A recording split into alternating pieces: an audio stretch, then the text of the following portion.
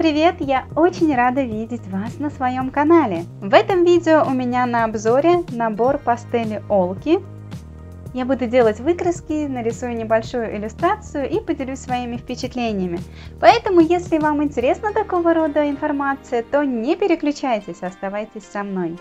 Как заявляет производитель, мягкой пастелью Олки можно работать в любой из пастельных техник – Использовать ее как акварельный карандаш и в сочетании с цветными карандашами, чернилами и такими э, водоразбавляемыми красками, как гуашь, акварель, акрил.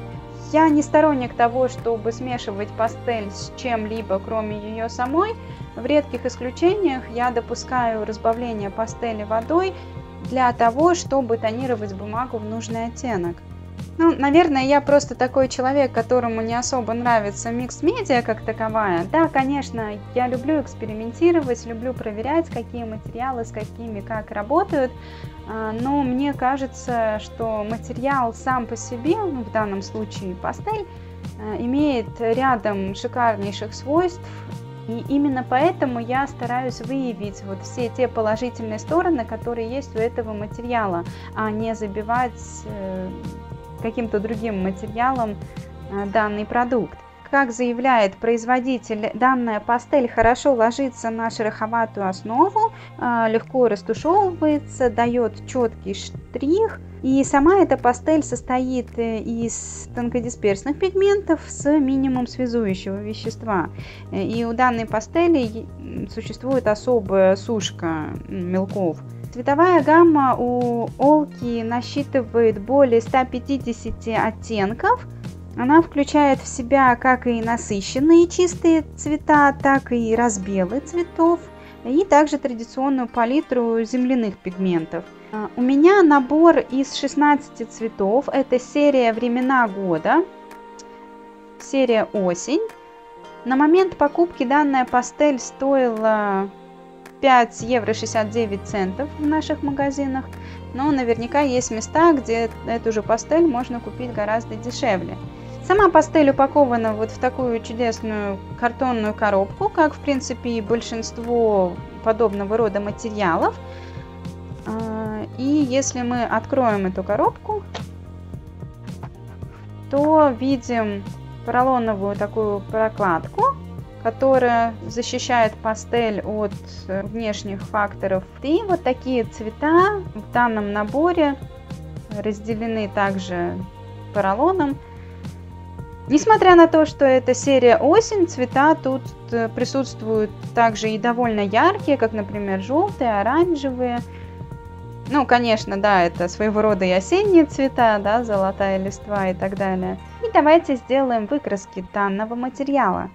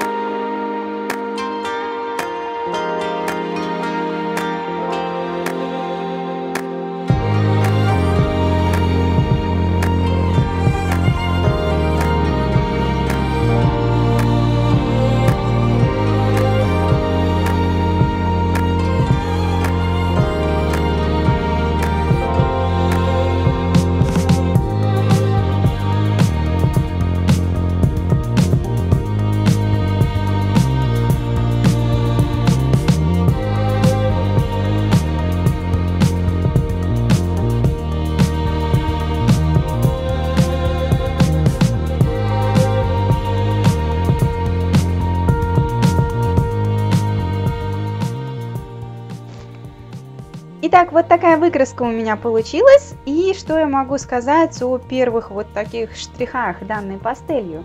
Несмотря на то, что производитель утверждает, что это мягкая пастель, а, я бы все-таки отнесла твердая мягкость данного материала к средней мягкости или даже может быть ближе к твердому материалу. Мои основания так полагать исходят из того, что когда я прикладывала мелок к бумаге и делала вот зарисовку, то сам пигмент достаточно тяжело отдавался бумаге, а, но, несмотря на это, сама пастель очень хорошо разносится на бумаге, когда она уже на бумагу нанесена. То есть вот когда я делала растушевки пальцем, вот вы видите, достаточно легко мне эта растушевка далась.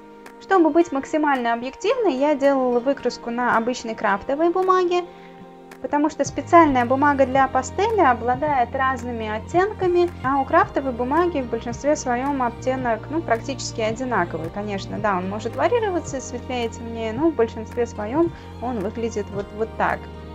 Пастель имеет свойство немножко крошиться, вот как если вы видите, например, у данного зеленого или же вот у красно-коричневого есть вот такие небольшие песчинки пастели, да, которые сыпятся. Но я думаю, можно приноровиться к данной пастели, тем более, если вы рисуете не первый раз, и вы можете контролировать нажатие мелка на бумагу, то, мне кажется, вы подружитесь с этой пастелью именно в плане техники нанесения цвета на бумагу. Как мы видим, цвета действительно такие осенние, то есть достаточно такие глубокие синие. Мне, кстати, вот очень понравился вот этот вот серый, который на камере выглядит такой больше голубоватый, но... Ну да, он и есть такой немного холодный такой серый, но в реальности он выглядит чуть-чуть иначе и очень красивый цвет на самом деле. А, очень понравился вот этот вот мятный оттенок. А, из теплых мне очень понравились вот эти вот два красных, похожих на вермиллион и на какой-то, наверное, скарлет. Очень красивые оттенки. К сожалению, ни на самих мелках, ни на коробке я не нашла никакой технической информации о мелках. Те, кто давно рисует пастелью, знают, что некоторые производители даже вот на каждом мелочке пишут номер мелка, название цвета, э, мягкость или твердость мелка. Кстати, у некоторых других производителей в одном наборе могут быть как и экстра мягкие мелки, так и достаточно твердые. В данном же наборе все мелки мне показались ну, примерно одинаковой твердости, что в какой-то степени облегчит работу потому что не надо будет контролировать разные нажатия мелка на бумагу. Итак, давайте теперь сделаем небольшую иллюстрацию и проверим, как цвета между собой смешиваются и как, собственно, они ведут себя в работе. Так как данный набор у меня из серии «Времена года», осень, то я уверена, что осенние пейзажи можно нарисовать просто отменно – но так как я люблю идти против системы, я решила не рисовать осень, сейчас все-таки весна, когда все цветет и пахнет. Поэтому я решила пойти против системы и попробовать нарисовать э, весенние цветы. С одной стороны, это будет такой некий челлендж, потому что в данном наборе весенних цветов раз-два я обчелся. Весна, она такая нежно-розовая, ну, пастельная, белая, светлая, а тут все цвета такие, ну, субстанциальные, такие осенние. Но, с другой стороны, мне опять же интересно, на что этот набор способен. Поэтому давайте приступим. А, рисовать я буду на той же крафтовой бумаге.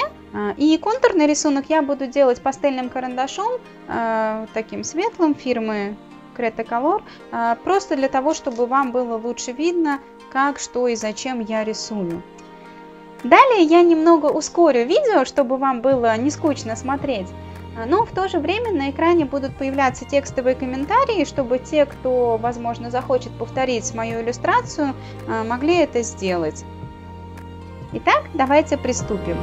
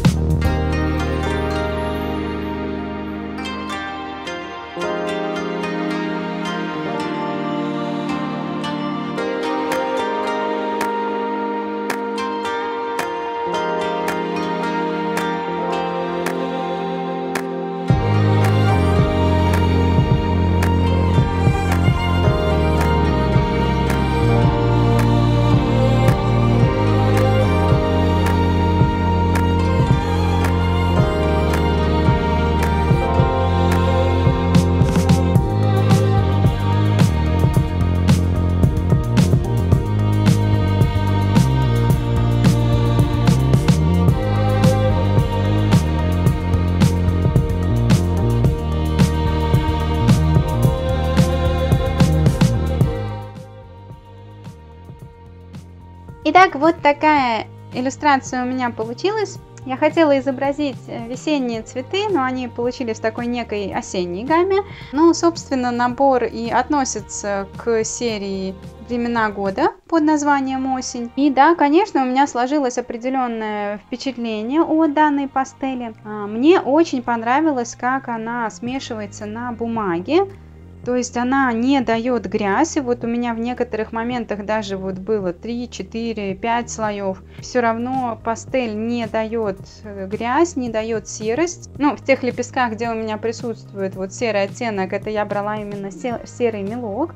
Но в целом сама по себе пастель не дает грязь при смешивании. Она практически не сыпется. Ну, конечно, в некоторых местах я нажимала на мелок достаточно сильно, из-за чего у меня он, ну, как бы сыпался. Были видны вот эти вот пылинки самого мелка. В целом, сама по себе пастель не сыпется и практически не мажется. Если вы достаточно давно работаете с пастелью, то наверняка знаете, что у некоторых производителей, особенно вот мягкая пастель или тем более экстра мягкая пастель, а, она очень сильно мажется, у некоторых производителей еще и сыпется вдобавок, и когда вы рисуете, то просто рукой очень сильно задеваете вот все эти пылинки, и за счет чего в конечном итоге и сам лист тоже сильно мажется. У меня такого практически не случалось. Да и если вот посмотреть на мои руки, то они, ну да, конечно, видно, что в пастели, но в целом насколько вот я вижу, мои пальцы не настолько грязные, как они бывают от некоторых других пастелей, от, не, от других производителей. То есть э, пастель Олки в данном случае можно отнести еще и к достаточно чистым, если можно так выразиться. А, к сожалению, в данном наборе у меня не оказалось действительно темных, глубоких цветов. Все цвета достаточно такие светлые, яркие. Э, за счет чего у меня, к сожалению, не совсем получилось передать объем данных цветов. Э, мне хотелось добавить еще больше глубины, еще больше объема, еще больше вот темных каких-то э, оттенков. Но, к сожалению, данный набор это не предусматривает. Ну, в принципе, что же я от него и хочу. Если это серия под названием «Осень», то наверняка набор и предназначен больше все-таки для каких-то осенних пейзажей или осенних мотивов. На осень, как мы знаем, она достаточно такая туманная, смытая, и в каком-то смысле может быть даже и однообразная по своему тону. Но, тем не менее, меня это нисколько не смущает. Я буду пользоваться этой пастелью и дальше. Просто к данной палитре добавлю несколько темных оттенков от Рембранта – и сделаю такой некий микс.